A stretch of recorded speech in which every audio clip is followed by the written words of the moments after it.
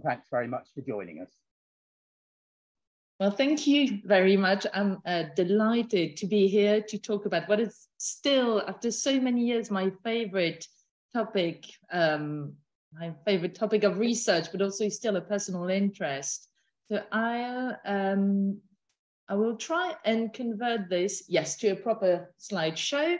I hope it works. So just um, a few words about how um, I've organized this presentation. I've, I've tried not to make it too dry, too academic, too conceptual, which I think is my natural inclination. So I've tried to focus on sort of visual artifacts, which I wasn't able to integrate in the book, partly because it's so expensive and also because access has become a lot easier to a lot of the visual culture material related to this period of anarchist exile. So it's, it's really a talk uh, rather than a presentation and um, haven't written anything. I will mainly be talking from and around the various um, artifacts, which hopefully you can all see on the PowerPoint. So I will start by explaining the title, which is not from me.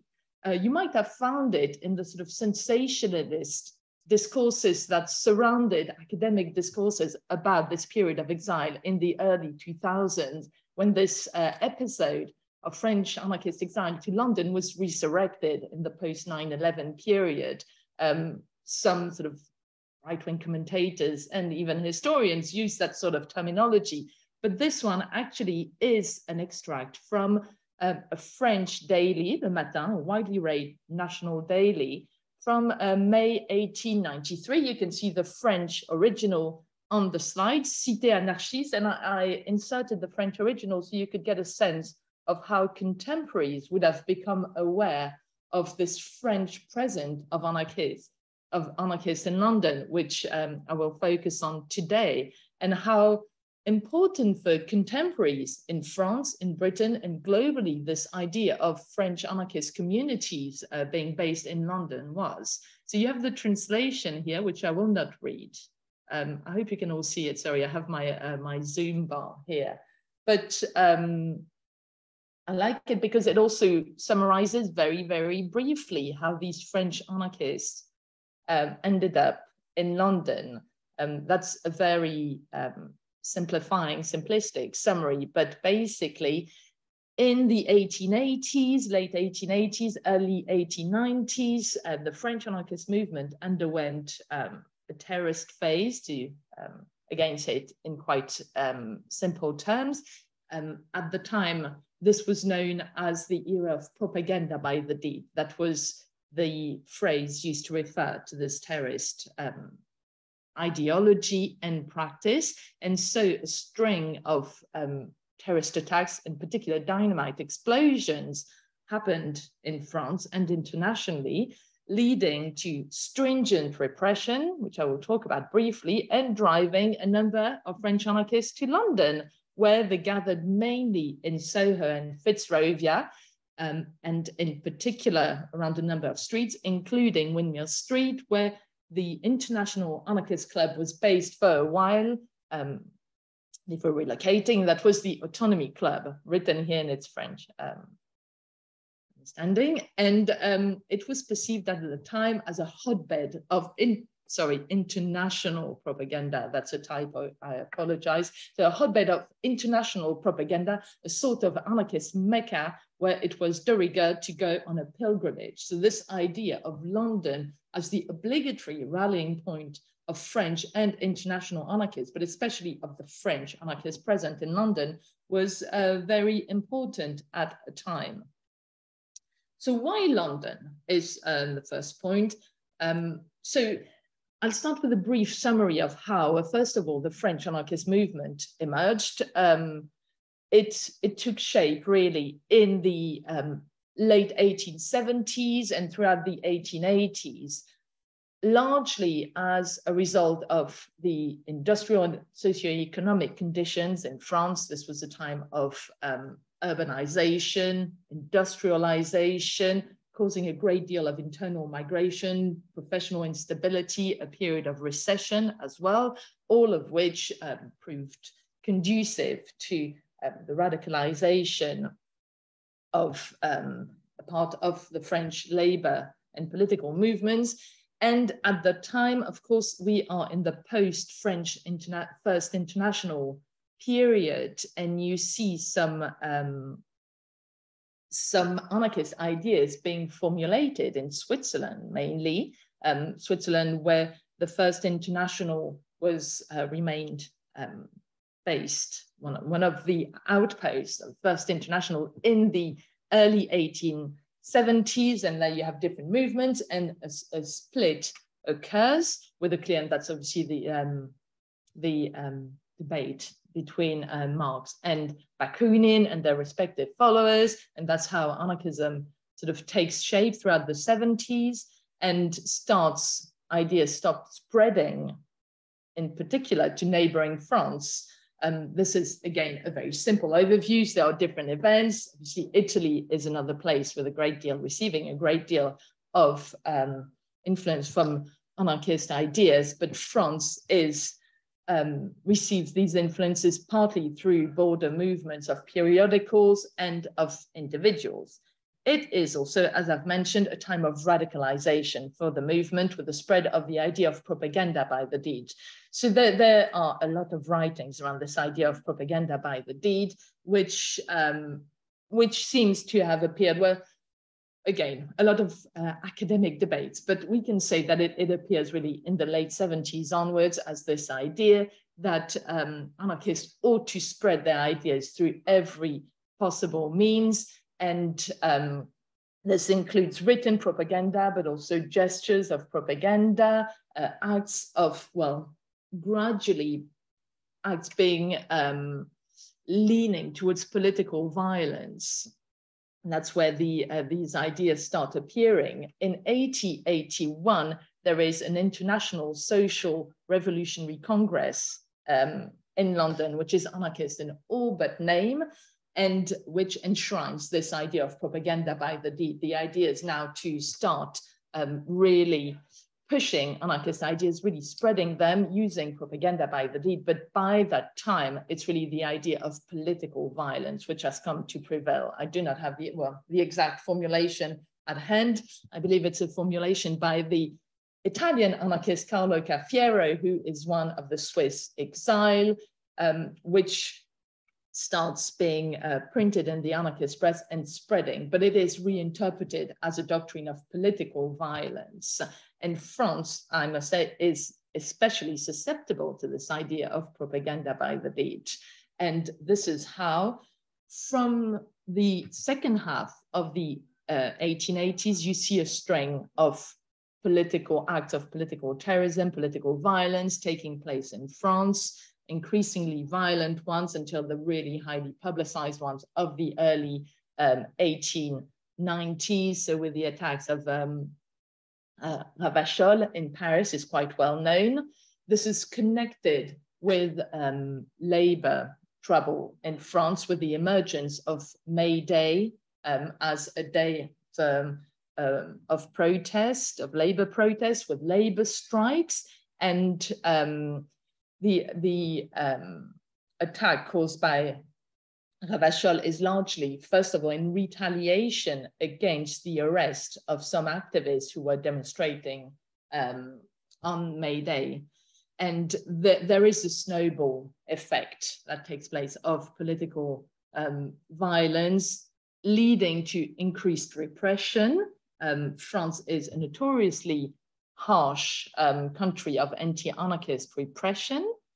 And um, this leads to a wave of exile, again, to say it quite simplistically, but the, um, th there is a daily harassment of anarchists in France from the 1880s onwards. This is heavily documented in the police archives in particular, which is probably the French police archives are probably the main source in writing the history of the movement in France. If you compare, say, with a country like Britain, where the sources are non-existent, probably because they've been destroyed, at least in part. Um, but in France, you have uh, boxes and boxes documenting the daily harassment of anarchists, even before the passing of three sets of incredibly repressive laws known as the wicked laws. Um, les lois scélérates passed in the in late 1893, early 1894, which effectively fully criminalize um, anarchism. And this is followed by a landmark trial known as the Trial of the 30, where 30 really prominent individuals um, are indicted. And this is a complete hodgepodge of um, petty criminals and really prominent anarchists. And by then, what you have seen is a mass exodus of anarchists to um, London, which is far more tolerant of anarchists. The reason, the background for this is, of course, a long tradition of left wing exile to Britain throughout the 19th century. There is left wing exile, there is right wing exile as well. I'm based in Surrey. Um, and um, Napoleon III actually um, lived for some time just down the road from me. There is, um, throughout the 19th century, starting, well, most people, I'm, I'm very uh, conscious here that uh, there is somebody in the audience who is a leading expert on the history of um, Britain as a country of exile, but many, um, many historians trace back this tradition of left exile to um, the 17th century and the um, Huguenot exile to Britain.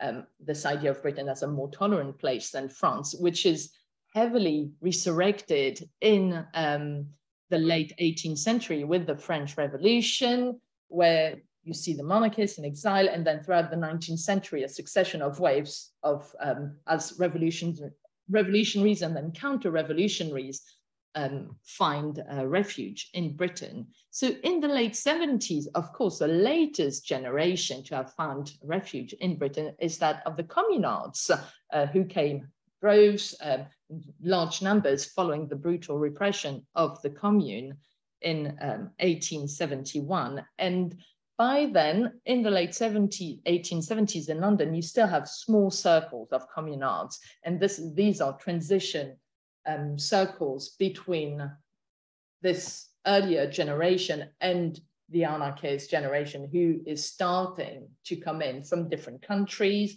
from Germany um, in 18, um, 1880, you have the arrival of Johann Most, who then becomes a very prominent um, anarchist. He's coming from Germany, following Bismarck's anti-socialist laws.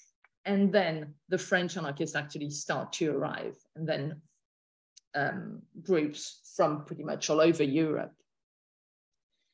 And then um, these groups keep on growing throughout the decades and um, in the early 1890s, where this um, period of exile actually peaks in numbers.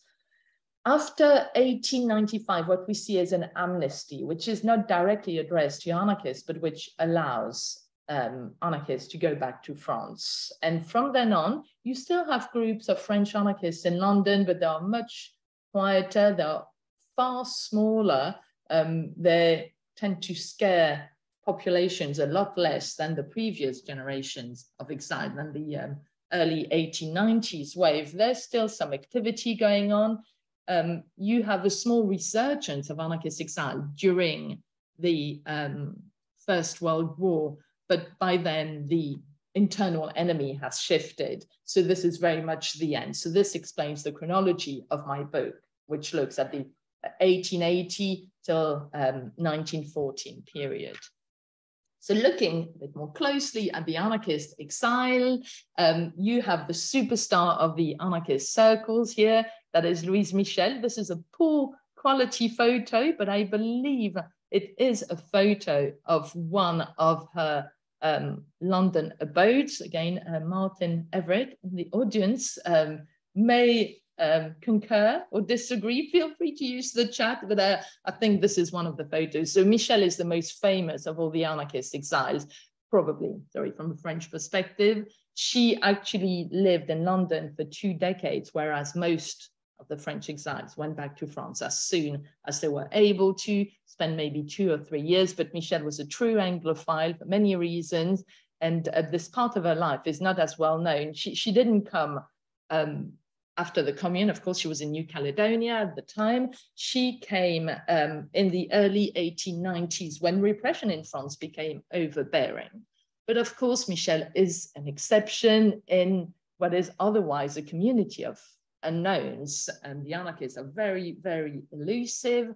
So um, when you question who has been identified, how many, well, I, think overall, looking at different sources, I have identified between 450 and 500 anarchists, French anarchists, or rather French speaking anarchists, because my study includes Belgian anarchists, but also a number of Italian anarchists who had spent quite a long time in France prior to this wave of repression, who spoke very often immaculate French, who were expelled from France and then relocated to London, but once in London remained in very close collaboration with the French circle. So this is obviously a very loosely defined group, a group with very um, blurred boundaries. Among these 450 to 500 anarchists, I would say that I have some solid knowledge about maybe 50 to 100 of them. 50 definitely, 100, this means that these are individuals whose name crop up across different reports, different sources, not just one police report where the name might have been made up, where it might be somebody who's identified as an anarchist, but in fact was just sort of walking by a club. So they are very difficult to identify, but I think there's a core of just over 50 where these individuals were definitely there and we have some sense of what they did in London. It doesn't mean that the 500 might just be a figment of the imagination of um, spies, but it just means that they are extremely elusive and uh, quite unknown individuals. So um, I've mentioned how they left France. Some of them left voluntarily, some uh, preempted a police arrest. A few um, dramatic um, cases include um, four individuals who were indicted in the trial of the 30, but who chose to escape before the actual trial, which might have been a bad idea because actually most of those indicted in the trial of the 30 were acquitted. But um, so this included typically with um, Émile Pouget, of whom I will say a few words very soon, Alexandre Cohen, Paul Reclus, who was the nephew of the famous anarchist geographer and theorist Élisée Reclus. Um, there's no uh, mass deportation, but there are waves of expulsions, especially of um, Italian anarchists. Different itineraries, often very secretive, um, using boats that tend to, they are keenly aware of police surveillance at the border. So um, use a number of routes, typically Le Havre Honfleur, um, going to Littlehampton was a popular, well, became a popular route to um, avoid the, the sort of more popular boat routes and thus escape police surveillance because detectives were in post in um, most of the main um, ports to try and identify anarchists. Rebuilding networks was uh, an important dimension of this exile. What I've seen is that so if you take somebody like Michel, she obviously knew a lot of people in France and she was already really plugged into international um, activist circles. So by the time she arrives in London, she knows many people. Her um, diary of address is actually available uh, from the time of London. It's available at the International Institute of Social History in Amsterdam. So that's an amazing source. And you can really see the people she met. So she really did meet a lot of people, typically Tom Mann, um, who um, is, is an interesting acquaintance from my perspective, because even though, of course, there were there was a lot of overlap between French and anarchist and syndicalist circles, it's not necessarily really intuitive, but many people also came to meet Michel. Many people were referred to her because she was so famously generous. So she used to be approached by a lot of people arriving in London, French people needing charity, wives of anarchists typically, but also non-anarchist individuals. So she does have these really um, wide networks, but many individuals obviously are far um, less well connected, but you still see them, it's quite clear in the archives, of clinging to and reproducing the earlier networks. So um, For instance, you see entire activist groups which were really um, active prior to leaving France being reconstituted in um, London. So um, the, the, major one I found is a place called Le Cercle Anarchiste International, which used to be active in Paris in the early 1890s and which was actually not international at all. I think it was a statement, but actually the people attending it were all French. And the circle is pretty much reconstituted in London. It doesn't rename itself, but you can see that all the individuals are there and that they all live really close to one another. So you do get a really clear sense of how these people got by and probably how they all ended up in London. There's something to do not with chain migration, but an element of chain exile and well, mutual aid, I suppose, in networks. Another interesting aspect is women who are so poorly documented, aside from Michel, of course, her partner, Charlotte Vauvelle, and just a handful of examples. So for instance, the journalist, Émile Pouget, is really well known. We know that his wife was there. She appears in archives, but most women are just very briefly mentioned in archives as la femme de, the wife of so-and-so. And evidence suggests, and I concur there with Pietro Di Paola, who's been mentioned before, who wrote a, a, very similar book to mine on Italian anarchists in London in the same period, that it is a very real possibility that there were as many women um, in those anarchist circles as there were men, but their presence has simply not been recorded. So this gives a sense of how invisible they are, although they do appear in archives, for instance, um, in smuggling um, literature back to France when traveling to see relatives, or sometimes when, when there are mentions of social events in the anarchist press or um, in mainstream periodicals, you do see mentions of women there. Another um, prominent fact is the presence of journalists in these groups. So I've mentioned Pouget, I'll mention again Malato, of course, Michel herself wrote quite a lot. Um, there are other individuals who were active journalists or um, editors back in France who go to London, which is logical because of course, due to their journalistic activities, they were uh, targeted by the repression and therefore left for London. But this also explains the fact that this community is quite active and, and made a genuine political impact despite being actually quite a small community who only stayed in London for a relatively brief period of time. So I thought I'd try and tell elements of the story and give a clearer sense of the sociology by looking at um, key individuals. So I've mentioned, if you look at the bottom left, Paul Reclus, the son of, sorry, the nephew of uh, Reclus and part of this great anarchist dynasty.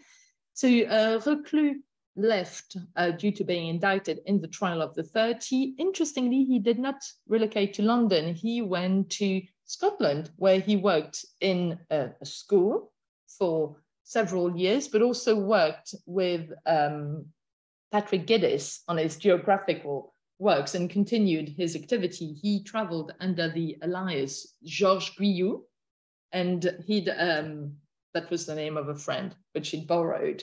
But it, it's a sort of Scottish outpost of this um, group of exile.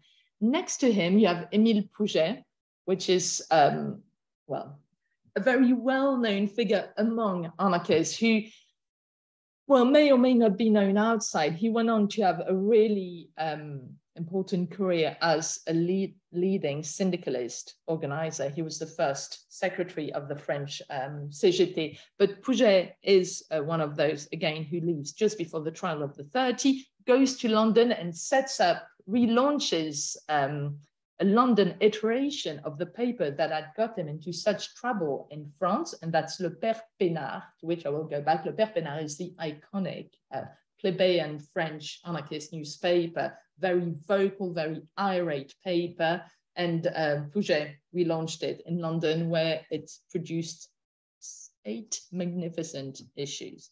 Top left, you have somebody who is really quite unknown, but who is a good example of those sort of 50-ish anarchists who have been identified, and that's Élisée Bastard.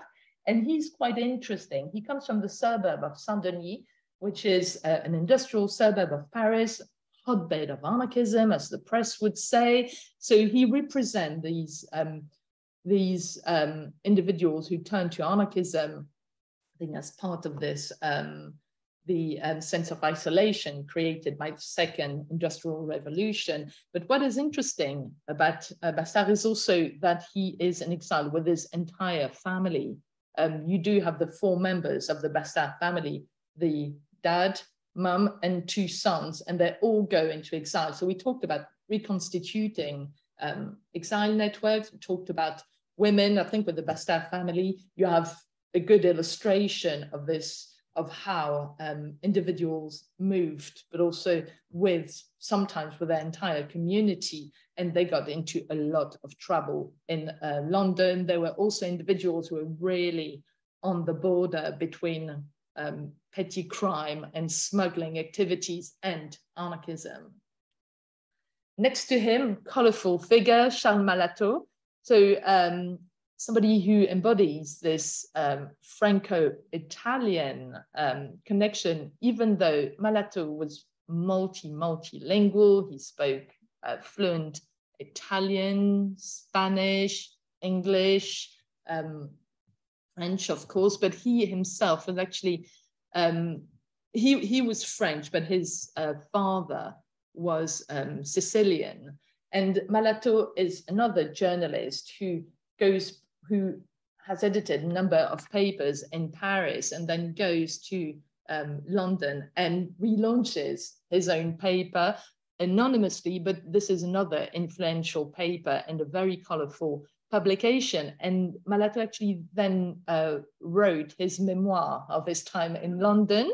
He published this when he was back in Paris, that's in 1897, and that's called Les Joyeusetés de l'Exil, The Delights of Exile um, and the subtitle is Chronicle of a French Exile in London. And it, it's, it's such a marvelous book. Of course, it's an incredible source for historians to get an insight of life within the community and how the community of French and international anarchists thought of themselves. But it, it's, it's written in such a funny way. There's a, there's a Franco-English sort of uh, mini dictionary at the time. He even prints the schedule of boat crossings to London. So we do really get the sense that crossing over to London, going into exile to London was very much a routine thing for a French anarchist at, at the end of the century. And that's, that's partly thanks to Malato.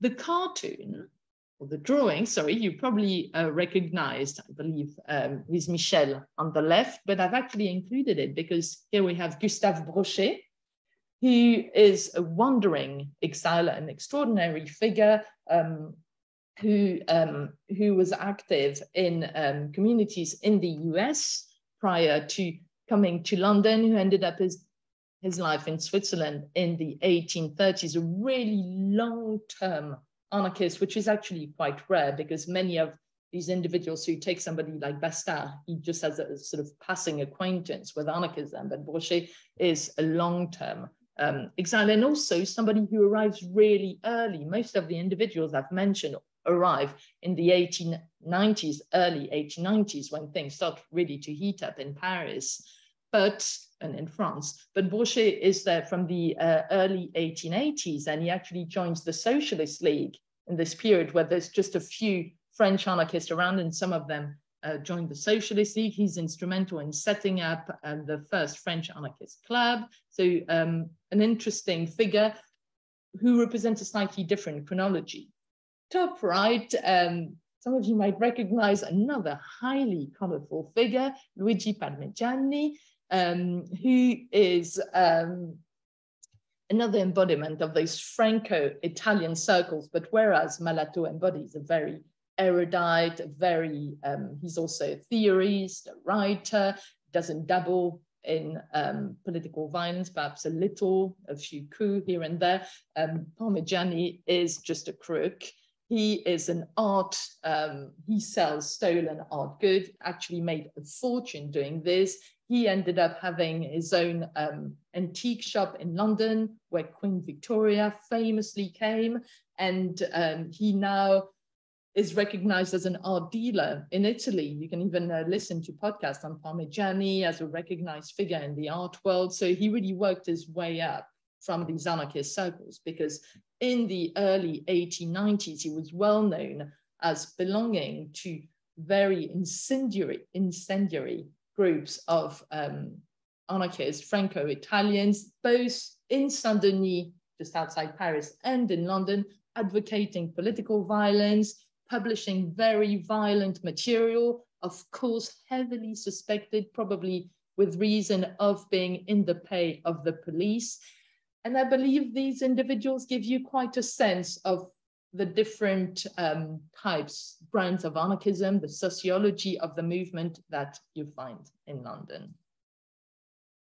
Bomb plots, as you can imagine, were integral to this, oh, sorry, to this period, and they um, and they were heavily represented in the press. So, of course, the London um, outpost of anarchists, um, I'm focusing here on the French, but by the early 1890s, where there are communities from all over Europe, there's a very um, strong, very large um, Eastern European Jewish contingent as well, which is largely separate, but there is a, a really um, noticeable anarchist presence in London, which is of course felt much more vividly uh, and disproportionately to its actual numbers, but this is a moral panic closely connected with anarchism. So daily rumors abound, um, things like Le Matin, the, the cover we started with, this is a daily occurrence in every single French paper. I've looked at many provincial papers. You do have hundreds of thousands of entries about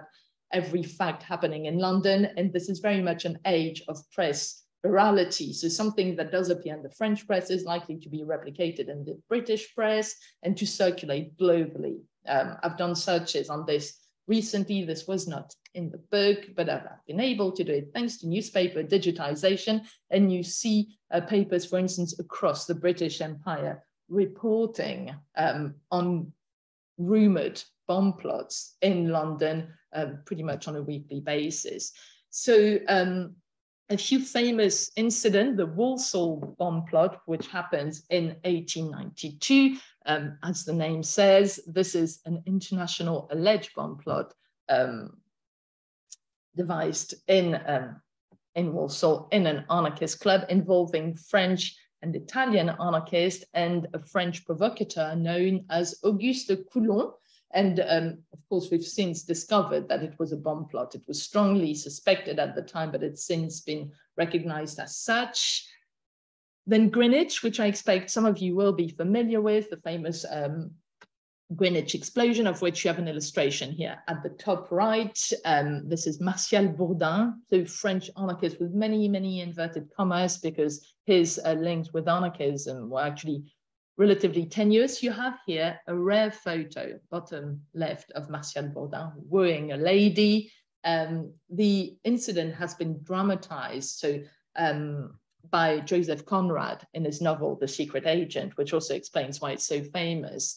But basically, Bourdin in February um, 1894 exploded in Greenwich Park. He was killed by a bomb that he was carrying, uh, an accidental explosion um, the destination of the bomb remains a matter of speculations for um, historians and Conrad scholars um, to this day. But I think thanks to this, we do have a picture of Bourdin um, that has been dug out by a Conrad scholar. So it's quite striking. And this was followed by a very rare uh, visit of the police, the British police at the Autonomy Club, the haunt of the um, international anarchists in London. So you do have this image, top left, of um, Chief Inspector Melville, which was the bête noire of the um, anarchists, was in charge of anarchist surveillance at uh, the newly established special branch of the Metropolitan Police, that's uh, Scotland Yard, to um, keep an eye on anarchists, shall we say.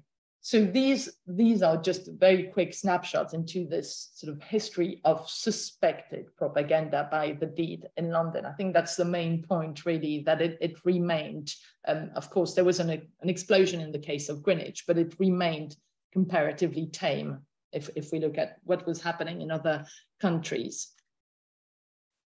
But of course, um, surveillance was very, very intense. So in the middle, you have a photo of uh, Chief Inspector Melville, William Melville, uh, which the anarchist, whom the anarchist, the French anarchist called Ville Melville, because he was really vicious actually. And he's an interesting figure because as I will uh, mention, there was this great idea that the, the that Britain was uniquely um, liberal in the way it welcomed and tolerated anarchists. And this is true comparatively to some extent, but there has been a great deal of historical oblivion, shall we say, or um, revision to hide the extent of police surveillance. I've mentioned the disappearing archives, and clearly um, Melville and other um, political and police figures were heavily involved in um, political policing of the anarchists. And that's why I've, um, I've added to the slide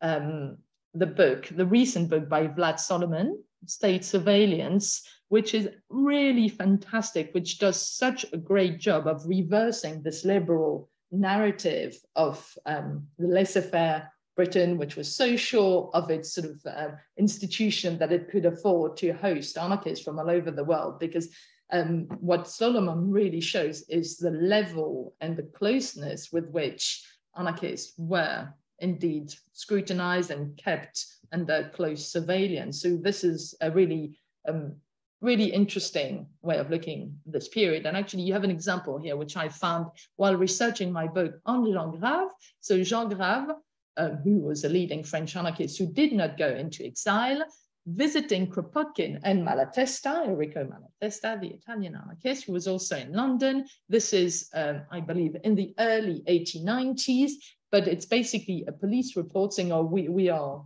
we know that uh, Grave is in London. He's come to visit Kropotkin and Malatesta, and I just, I find it absolutely extraordinary, of course, because these were really prominent activists to find a random police report mentioning these individuals.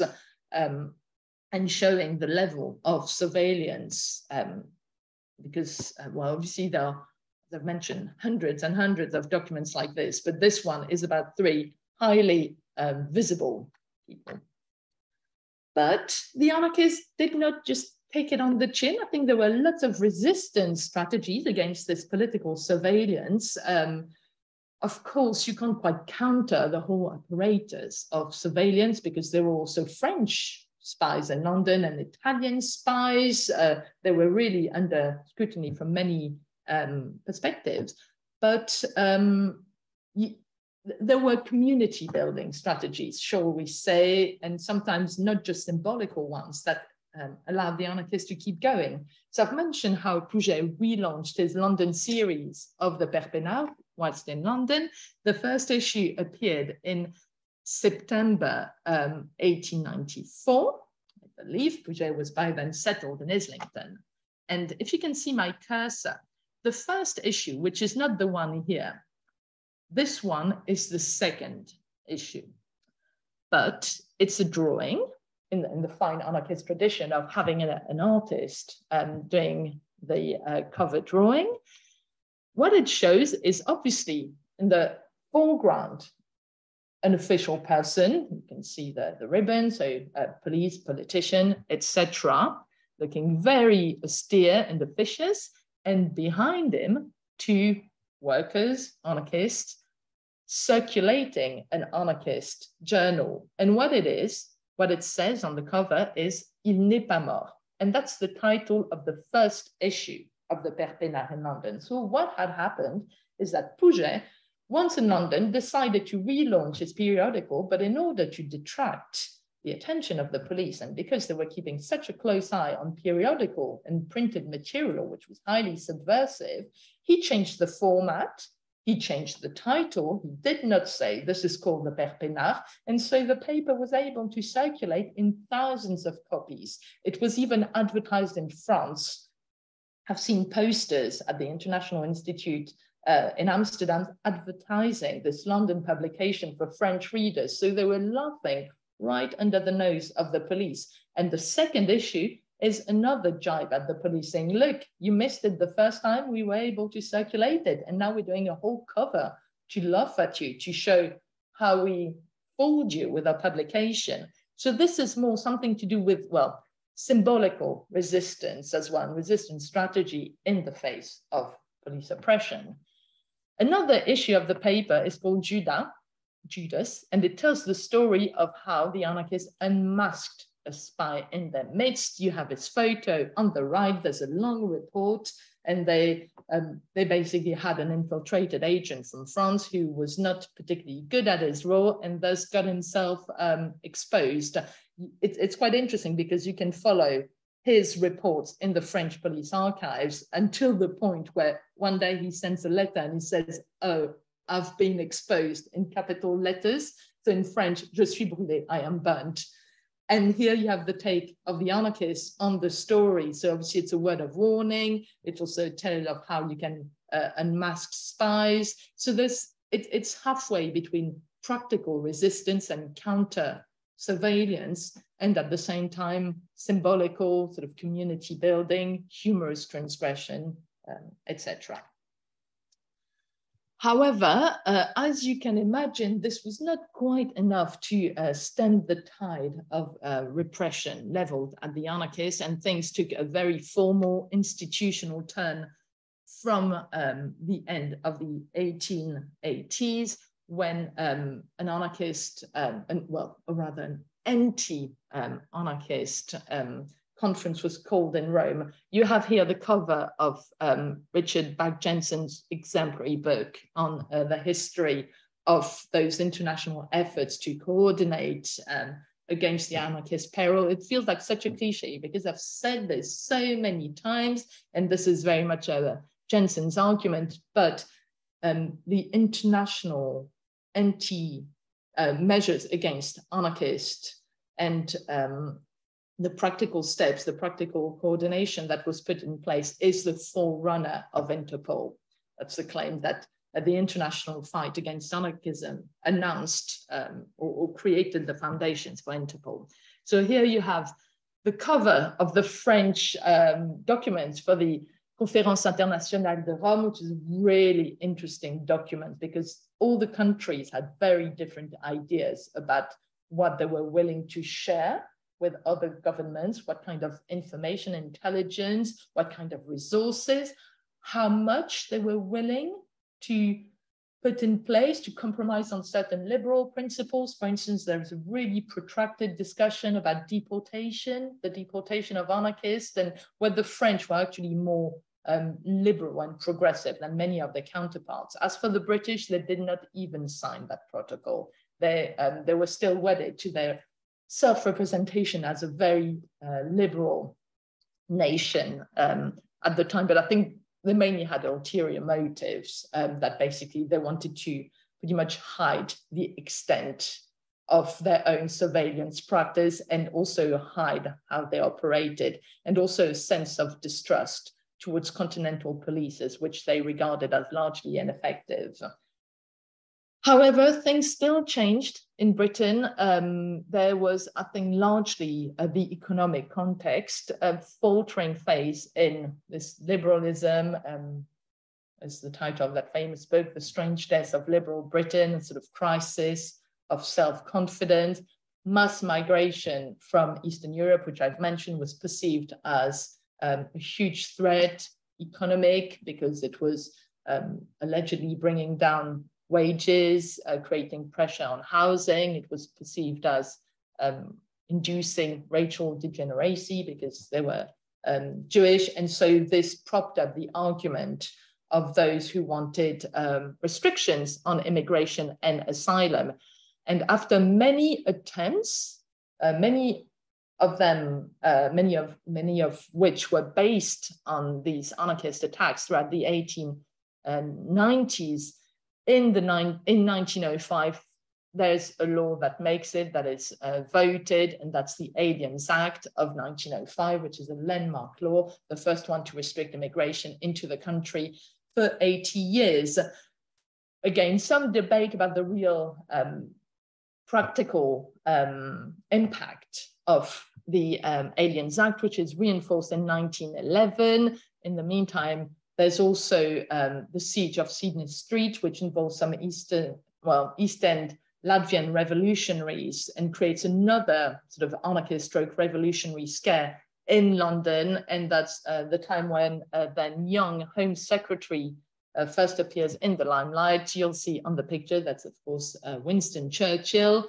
And again, you see, I think this is quite interesting because if you take all of this together, you actually see that the history of the anarchists, it, you know, you could say, oh, it's just a story of exile of a few unknown individuals, but you see that it does have actually really considerable impact in changing um, traditions and changing international relations. And that's obviously especially uh, visible in that sphere of alien legislation in Britain and internationally.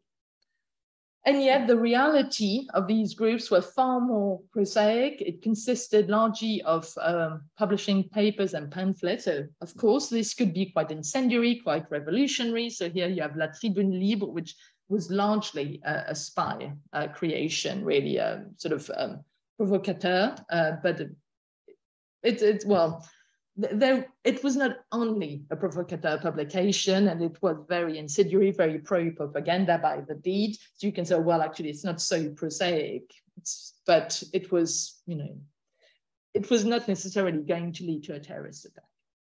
Lots of pamphlets. So the anarchists published five papers throughout this period, um, many pamphlets too, and these were published by the hundreds, the, the, the uh, pamphlets or the placards in the thousands. They're difficult to get hold of, but that's really interesting material.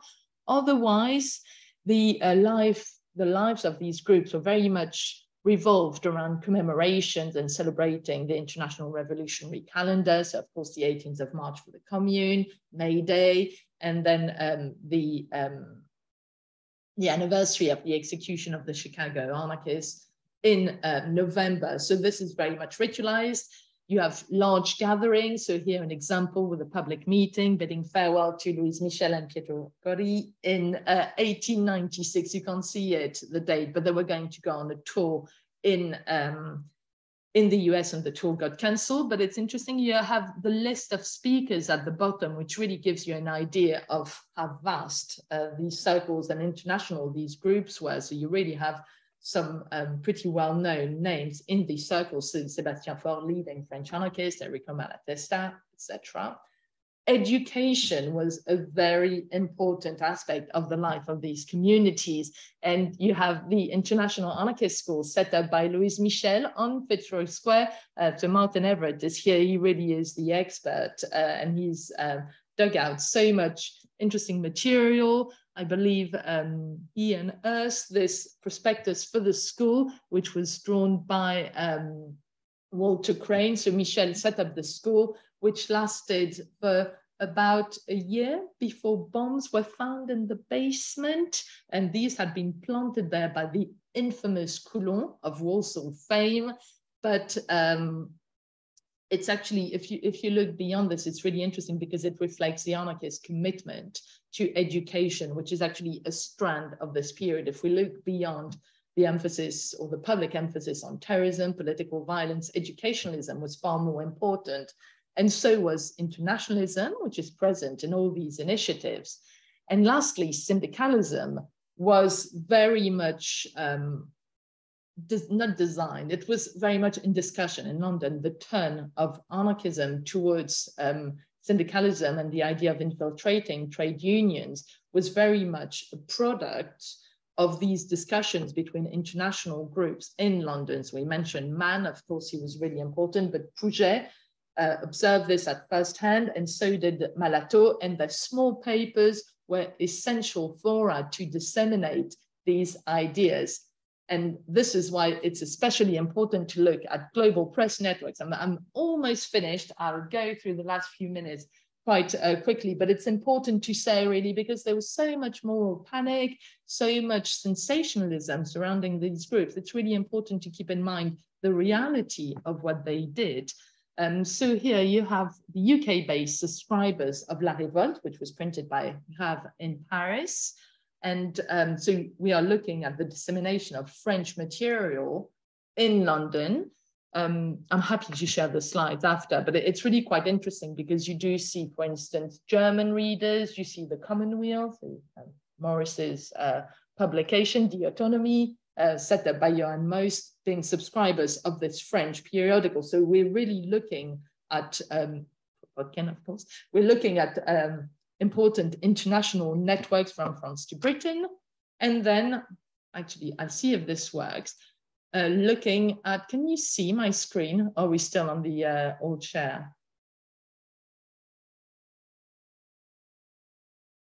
Hmm?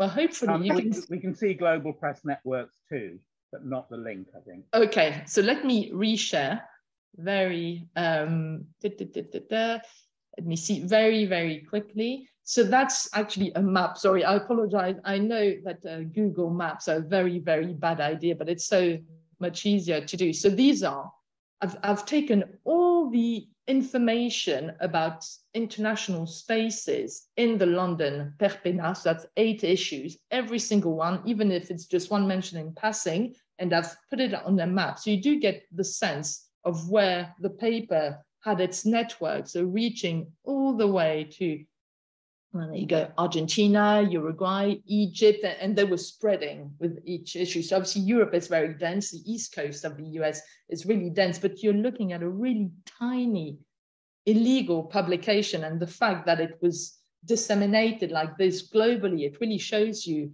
that this allowed these London circles to be a hub uh, and a laboratory for the elaboration of new political ideas and their dissemination.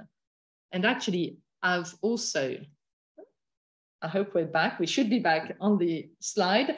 Uh, this is the reality on the ground because it's easy to say, oh, well, you know, how did this happen? And um, I know this is not really legible. It's actually a screenshot from uh, a film about a documentary about anarchism. But the titles that this street vendor is uh, selling are very international. So presumably this is a French um, MAG selling all the French classics, but also some Dutch um, titles, some Italian ones, and freedom. So you see, actually, people were reading this material. Um, you know, he's clearly selling them um, random French alley. So there was this dissemination on the ground, and that's, I think, the core, perhaps, of London activism. Really looking at this press activity, this exchange of idea, and how the press related.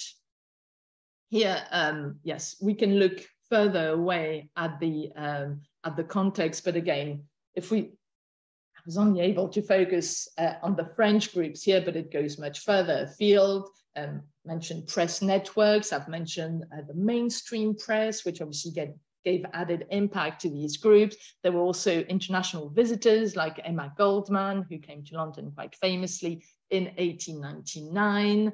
And this worked both ways. Of course, um, this integration in global networks, it built up the anti-anarchist moral panic, but it also built the um, global connections and communities of anarchism itself.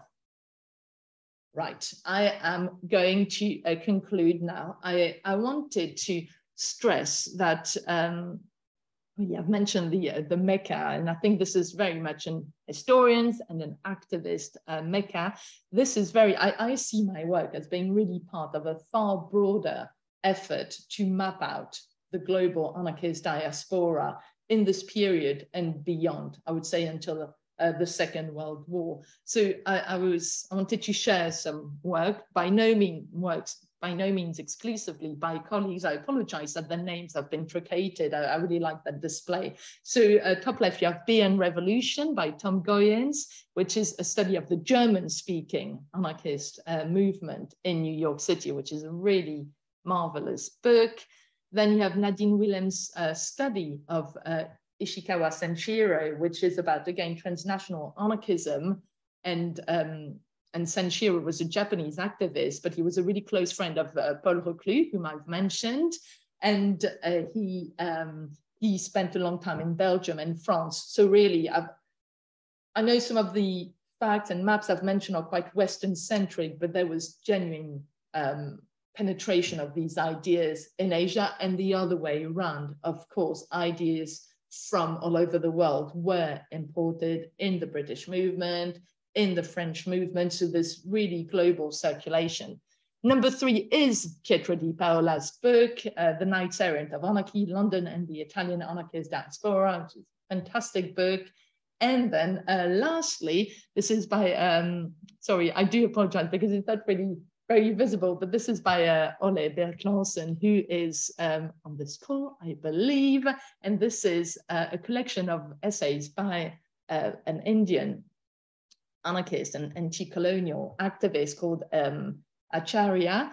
And uh, Ole is actually about to publish a biography of uh, Acharya as well. And this is, again, another sort of branch, I would say, of the same movement, these studying these global circulation, these exchanges of ideas. And of course, um, these ideas were very mobile, evolved, and th there is, you know, anarchism is a very fluid doctrine, but that's really how I see the work, studying mobilities and studying the mobilities of ideas as well. And I do mention the activist Mecca as well. I think, um, as you can imagine, this period of um, anarchist activity has really attracted a great deal of interest and partisan interpretations in both directions because, of course, of anarchism itself as a revolutionary doctrine, of the connection with the topic of border closure, um, in connection with suspected terrorist activities. I personally prefer to see it as part of um, the history of exile and refuge, um, where the movement is definitely towards border closure. And lastly, you do have a strand that studies um, this period of anarchist activity as a forerunner of the contemporary alter-globalization movement, but there's no time to go into this, so I'll stop just now. Thank you. Thanks very much, Thomas. That was absolutely brilliant. And it's great to see all the images that you couldn't get in the book.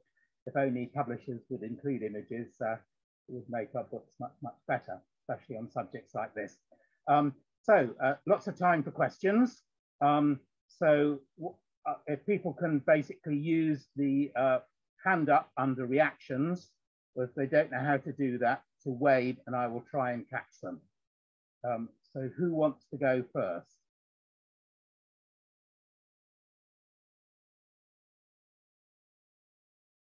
Right, Steve Cushion first. Uh, yeah, I'm I'm interested in the fact that you use police reports, and I wonder how you assess their accuracy, because I'm thinking of the current sort of scandal about what we call the spy cops here, where uh, there were as back in the sort of 80s and 90s, probably still going on today, but back in the 80s and 90s, there was a lot of police infiltration of uh, rather small revolutionary groups. Uh, and we know now that it's all coming out that the police involved exaggerated enormously what was going on uh, in order to uh, uh, keep their jobs basically, which was a very cushy number of uh, with an expense account. Uh, I mean, they they they did that round here where I live in in Walthamstow, and uh, as someone said, well, we we should have guessed they were coppers because they always bought their round in the pub. But uh, so I just wonder how uh, you assess whether the whether the police reports are have any truth in them or are just exaggerating in order to uh, uh, keep their uh, their cushy little jobs. Thank you. Yes, that's a very good question. Um, yes, there are different ways, and it's uh, it's a little uncertain. I think generally speaking, since writing the book so 10 years ago, I've tended to revise a bit what I wrote because I think I was probably a bit dismissive actually of the information. I think you have to look at, first of all, for very grand prose, you do get a sense of when the writing is really uh, inflated. For instance, when there are triple negatives in one sentence, you know, we believe that this anarchist is not an active at the moment or inactive you do, you know, you do get a lot of sort of padding. Then you have to reconcile with the history that you know. See, well, actually, did something happen? What do we know about this individual? So it's a good old sort of crossing uh, of sources. And then there's quite a lot of contemporary sources or individuals who wrote about this. So um, police, um, some, some prominent detectives in both France and Britain. Then you also have some anarchists. So for instance, about Walsall, you do have several reports from anarchists untangling some police conspiracy. So you, you do have quite a lot of material that can help you find your way through. But for instance, when you do have week after week a new conspiracy being brought forward, I, I tended to dismiss them. And sometimes you do realize, oh, actually, maybe they were manufacturing bombs, actually. Okay, thanks. Uh, Sam Foster is next. Yes, thank you very much for that very interesting talk. Um, I was just wondering if, um, in your research, if the uh, and thinking about this in a more international perspective, if the 1904 Entente Cordiale and the general improving of Anglo-French relations, specifically in relation to their hostility towards Imperial Germany, had any impact on this um, on these anarchist networks? That's a very good question. Actually, I, I, I did my uh, PhD around that time, around the centenary of the Entente Cordiale, which was a massive um, spur for the study of uh, Anglo-French exchanges and networks. So I really looked, I tried at the time to reconcile the history of these anarchist groups with um, the Entente Cordiale. So on the ground, I think there's nothing. There is nothing, the, these anarchist circles seem to be quite immune to sort of uh, high politics um, in that sense. I think for the, for the powers, the international powers, you do see a bit of movement and obviously a, broader realignment against Germany. But again, it doesn't, there's nothing that seems directly relevant. I think we can look at sort of broader climate and sort of uh, shifts, but um, it, it's not a landmark event. Okay, John Clemo.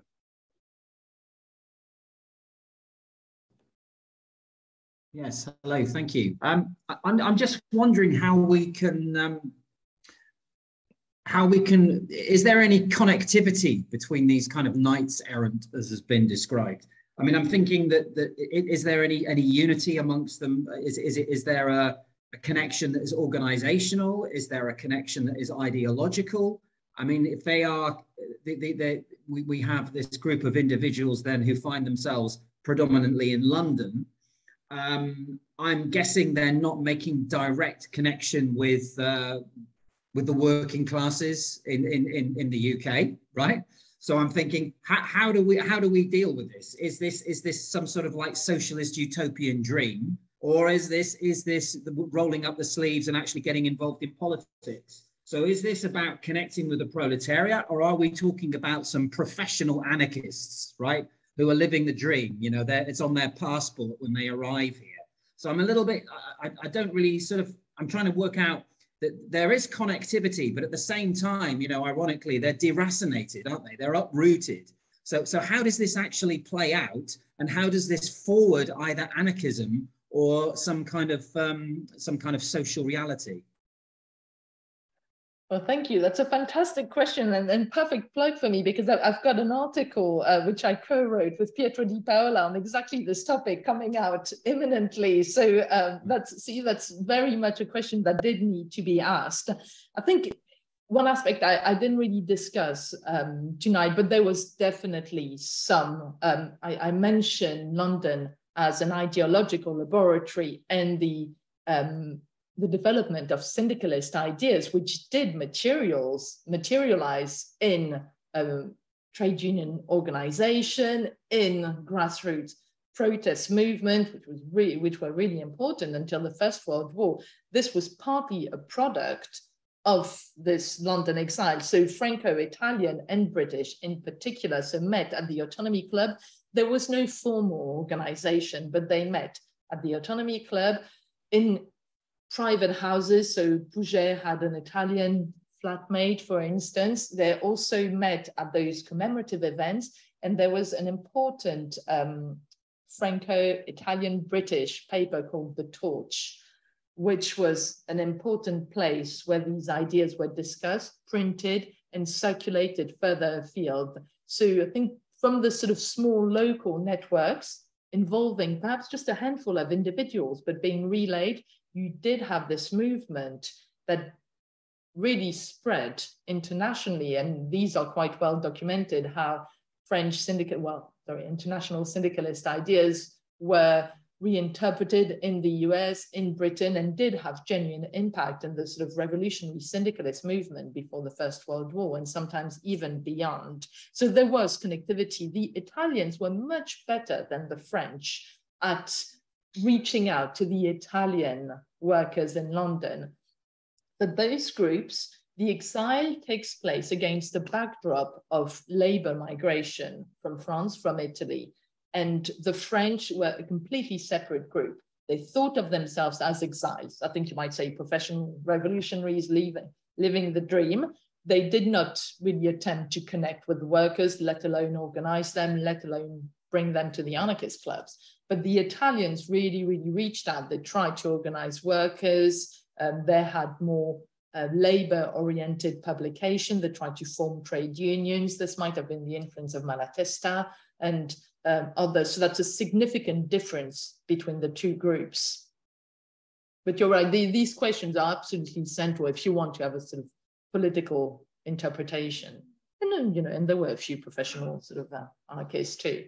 But the, uh, the, the serious politics and industrial action was there. Okay, uh, Francis King, you're next. yeah, this, this, this really follows on from, from, from John's question, really. It's how the behavior of the anarchist immigration compares with the uh, behavior of the socialist immigration mm. That was in Britain at the same time. Because I, from what you said, I very much get the impression that the socialist immigration was far keener to get involved in the local labor movement. You know, lots of the Russians who came over to join the SDF and that sort of thing became involved in the British labor movement to concern themselves with, you know, with, with local questions. And the impression I get from what you said about the anarchists is that they seem either less willing to do that or possibly less able to do that because the labor movement itself was less uh, receptive or amenable to their ideas. So, I mean, have, have, you done anything on comparing those two uh, uh, exile experiences? Yes, I think I think that's a fair point. But so I've seen a question in the chat saying, or oh, uh, someone like this mentioned joined the Socialist League in the 80s, and they did. And we know because their cards can be found, their membership cards. Again, it's all in Amsterdam. You can see in reports, and it was presented as an internationalist gesture. So the question of internationalism and whether it was put into practice is um, central. It's the core of this. So most anarchists live sort of day by day in the hope of going back to France. It was a short-lived exile. I think you know, the whole question of even language has to be reckoned with. You're not talking about multilingual activists, except for a handful of them. So what we do see is a very um, internationalist elite, people like Michel, who made much of the fact that she started learning English, and some some individuals really um, joined organizations, or actually, I say, wrote with um, in international papers. So th there was very much this collaboration or those collaborations at the top, and it, it did foster some international solidarities as well through, say, commemorations, which I've mentioned, uh, reading, the printed material. So it's a bit problematic, I think, due to material circumstances as well. But I, I don't think there was, some people have asked the question, it's something that is in this article um, that I mentioned that I'm about to publish about, can we say that the anarchists were actually nationalists in their practices? And I think the answer is no. I think they were genuinely sort of committed to internationalism, but it, it's it is problematic. It definitely wasn't as straightforward as they painted it themselves. Thanks, David Morgan. You're next. You need to unmute. Yeah. Yes, I'm just doing that. It does take a while. Your hands are arthritic and old, like okay. I am. Anyway, no, uh, fascinating detail on the uh, social composition of anarchists. I uh, I would like to ask if you can uh, say a bit more about the professions of anarchists. You mentioned journalists. I think you mentioned teachers as well. Uh, can you mention any any labourers who were anarchists? and uh, also the question of the social program, personal relations uh, policy of anarchism. Maybe that was something that the working class found difficult uh, to accept uh, because of this free love kind of idea. Was that was that prominent among anarchism to an extent that uh, might have been something that put people workers off getting involved in anarchism? Thank you. Yeah, thank and, you. That's yes. Yeah, carry on. Carry on. I was going to ask about the women. You said 50% of anarchists were women. How do you, I mean, you've got the detail. Why didn't they write anything? Were they all illiterate? Were they not able to write? Were, were they not, did they not think writing was important? Because we do have a lot of information about socialist women uh, of this period and intellectual women uh, who were socialists. Uh, why don't we have so many who, who are anarchists? Anyway. Okay, was, David. I'll leave, you, leave it to you now. No, if we start with the women, I think the first step is that they were not recorded by the police. So if that's the primary source and they didn't feature in the papers as well, they might have written, but well, some, some of them wrote, but in the London groups, they're far less visible. Um, maybe they were invisibilized, but it's also by comparing with other groups. So for instance, some academics have done research on Italian women in the US, and that's when you compare and you think, oh yes, of course, you know, we can't look at that, but it's likely that the women were there, they were in the clubs, or that their way of being politically active were perceived as non-political. So, for instance, organizing meetings or even even cooking, you know, that's regarded as non-political. But if you're if you're running a political gathering and you're doing the, the cooking, the organization, then you know it is a political activity. So there is that's where we start. That they, there's no trace because of the lack of record of recording, which is due to the masculine outlook of the spies to begin with.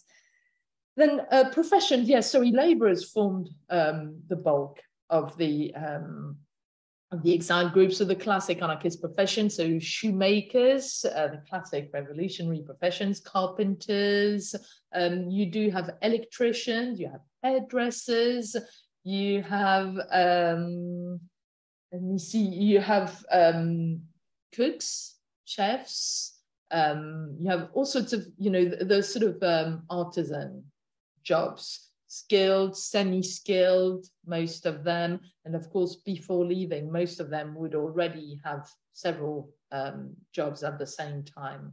So yes, of course, laborers are well represented.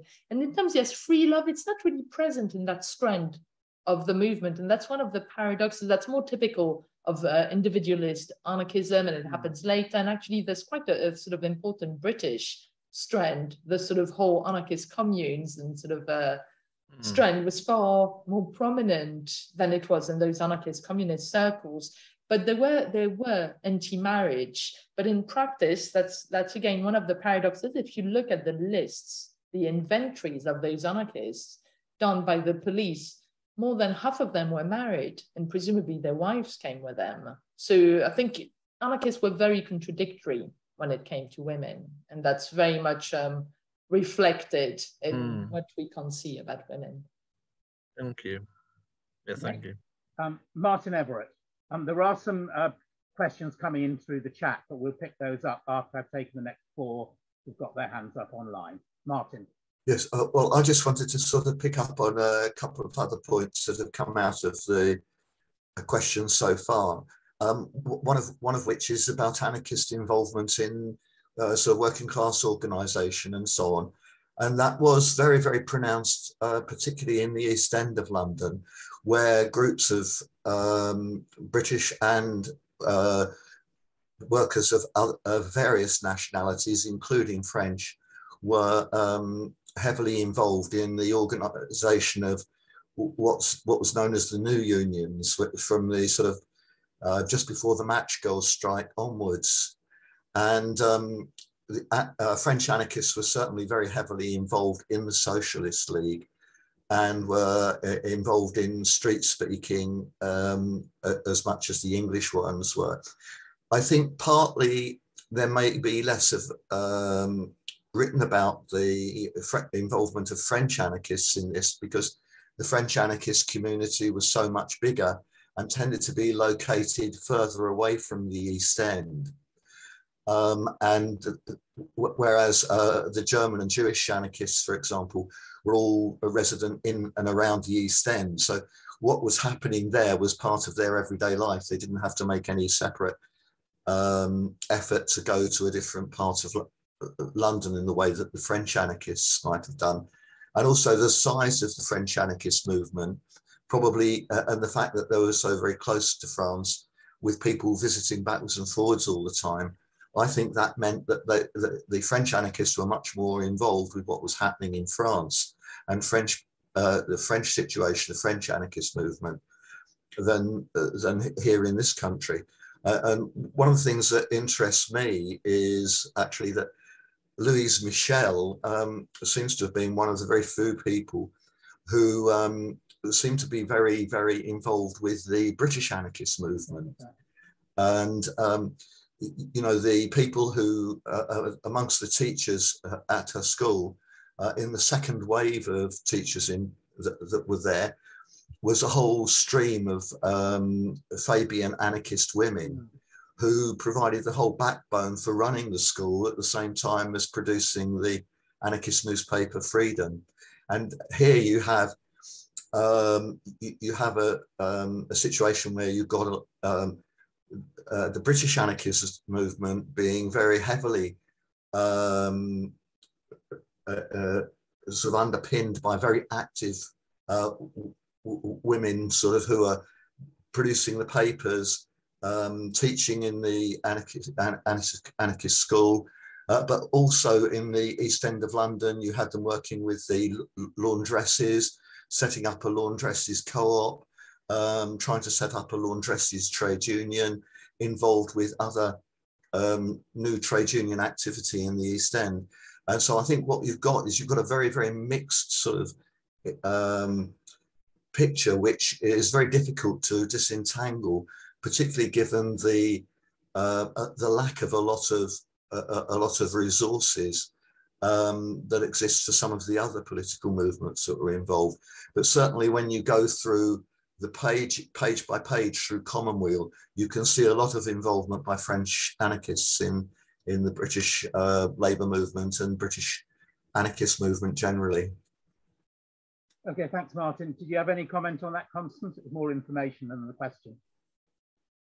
Yeah, I think I think that's a very fair, fair point. Sorry, I should have mentioned, of course, um, in the East End, um, organized um, Jewish trade union. That was a very important movement. And of course, there is activity as well in the trade union movement. But I think within their own community, I think that's the uh, that's what I focused on. I think the Italians were probably better at organizing, but they there, there was definitely a lot more involvement from the anarchists that we know in um, in the labour movement, in the British labour movement around the time of the um, Dockers strike. I noticed somebody's put in the chat that that wasn't a question, but I'm happy to take information from contributors which is relevant. You don't have to make questions.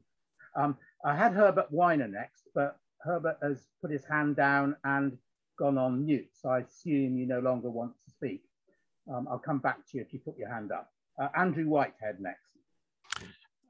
Hi, Constance. Thanks very much for your presentation. Um, I want to return to the notion of London as an anarchist mecca, or perhaps better say a, a haven for anarchists from the European continent.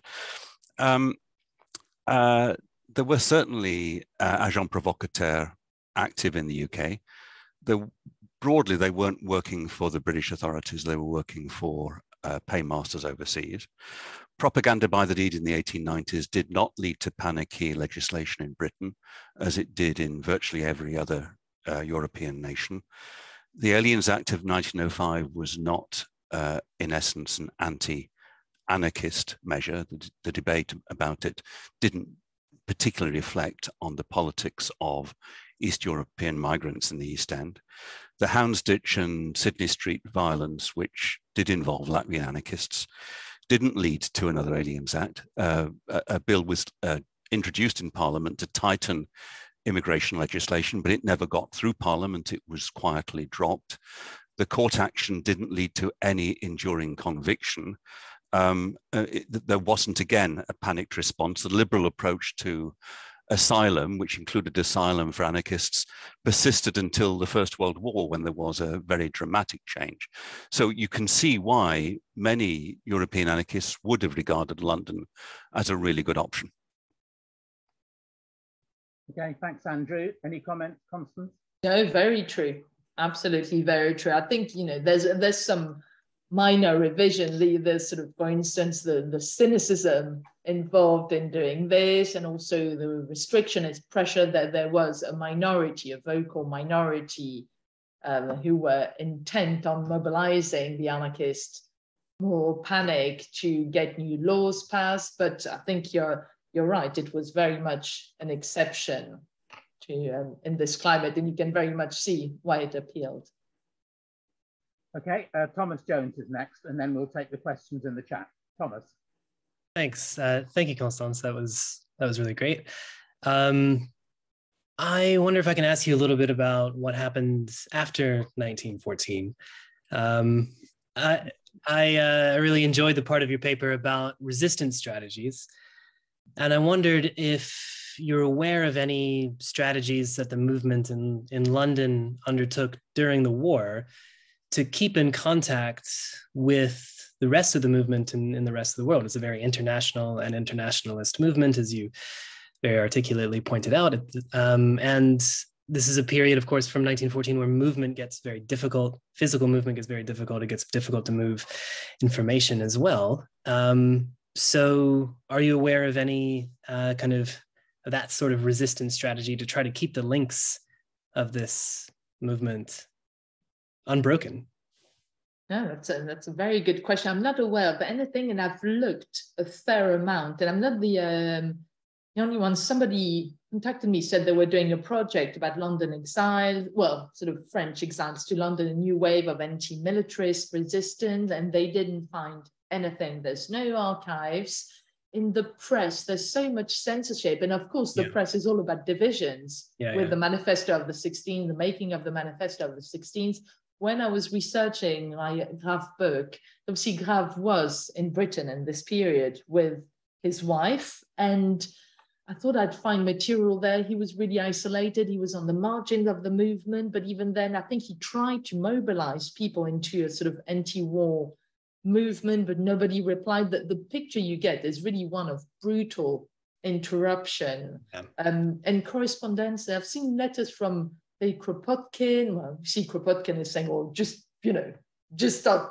sort of uh, take up the weapons yeah. and, you know, go to the front and things like no, I don't think there's much. I think you'd have to, be, it's far more likely to be found in the Italian press would be my guess. Ah, right.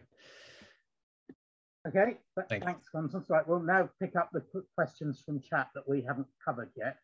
So we had a, a question from Graham Seaman uh, how many real believers in propaganda of the deed were actually police spies, uh, e.g. Coulon running chemistry classes, gives appearance of a larger movement that may be just him and a few others. Any comment on that, Constance?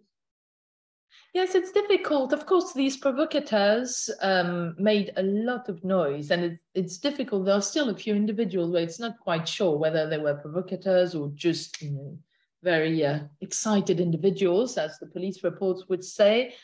Um, and it's also fluid because for some time, even quite serious activists, um, like say Malato, might have been advocates of propaganda by the deed or just saying, well, actually now we, we need to use violence. So it's, it's really fluid, but definitely, and it takes us back to the first question about how you disentangle the spy reports from what was actually happening um, there's definitely a lot of noise that is created by the provocateurs and and that sort of really taints a more peaceable community.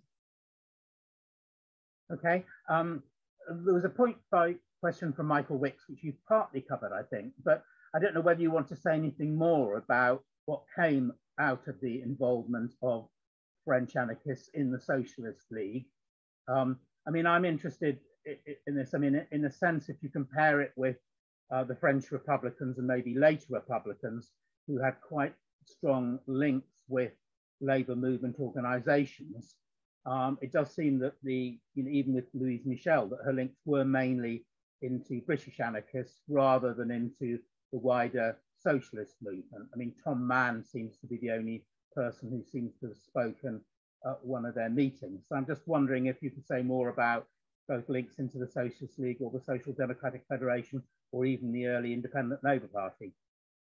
Yes, no, there, there were strong links with others. So John Turner, Frank mm. Kitz, all these early activists from the clubland circle. So obviously nobody joined the SDF as far as I know, yeah. but uh, in the league it was quite important. There were strong links, obviously um, those who joined, so the brother of Martial Bourdin, who um, who died in Greenwich, his brother was a Socialist League member, oh. um, Brocher, who's uh, drawing yeah. shown, and Coulon, I think, and Fred Charles actually of Walsall yeah. as well. Mm-hmm. Um, and uh, Battola was some of them, as, as somebody mentions uh, down chat about the, the Walsall case being connected. So I think the legacy was really multifaceted. It helped foster a precedent for collaboration, internationalist gatherings, so quite symbolical, but these symbolical occasions were really important in building solidarity. Um, it did create those links that do reappear. So like, yeah, Turner or, um, sorry, I'm looking for another name that will not come back to me, who went to the US in the uh, 90s as well, Mowbray, were mm -hmm. all um, important. So there are links. You're always talking, from my perspective, of course, you have larger movements, which we've discussed, and attempts at organizations, large gatherings, papers, but very often it's about two individuals, five individuals who know each other, and it's actually, they can actually achieve quite a lot. And I think with, for instance, with the connection with Turner, you see that again, Tom Mann, the, the, the sort of few anarchists who knew Tom Mann and went such a long way um, in creating all these syndicalist ideas and organizations. So um, I would say that that's how I think about the legacy of this French participation in the Socialist League. It's lots of different things that actually accumulate into different forms of activism. Okay, I think that picks up the points in the chat, including those from Graham Seaman, which is oh. also on the social. Is it appropriate for me to comment? Yes, okay, Herbert. I wasn't sure whether you wanted to come okay. back, so it's your turn. Yeah. yeah, well, I noticed that there are some historical facts that I hope they're not tangential to your presentation. Like, for instance, uh, the anarchists were very uh, active in the International Workers of the World. And that was a very strong movement in the United States. Now, significantly, many of them joined the Communist Party at the um, at the end of the Second World War, and notably was Elizabeth Gurley Flynn, I believe William Foster, and so that I believe it had a, something of an influence in the Communist Party, and also um, we have to notice a split between communists and anarchists, which has existed since the beginning of the First International with the conflict between Marx and um, Kropotkin.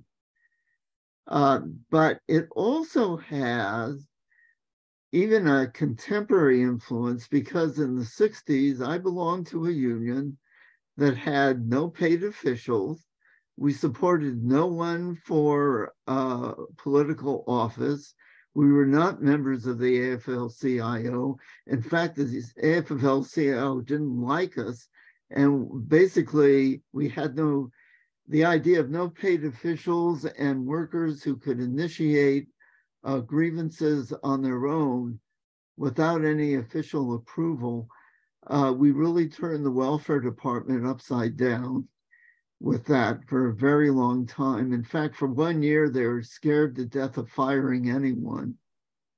So um, I think anarchism has an influence, and it's wonderful to notice uh, the significance of France uh, upon Great Britain and the anarchist movement as a whole throughout the world.